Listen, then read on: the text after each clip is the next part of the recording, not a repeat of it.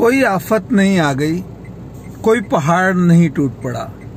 अगर बडवाइजर की बियर, जो कि वर्ल्ड की सर्वश्रेष्ठ बियर है, उसके दो अलग अलग टेस्ट कर लिए, क्या दिक्कत हो गई? देखिए मित्रों, गुरु गोरखनाथ का वचन याद रखना। हसीबा, खेलीबा करीबा ध्यानम। नाचो, हंसो, खेलो, गाओ और ध्यान करो। कोई भी चीज़ अधिक मात्रा में नुकसान देती है, चाहे वो दूध और घी ही क्यों ना हो। गर्मी पड़ रही थी। बाबा ने दो बडवाइजर ले ली। कोई गुनाह नहीं हुआ। इससे मेरी साधना पर कोई फ़र्क नहीं पड़ने वाला।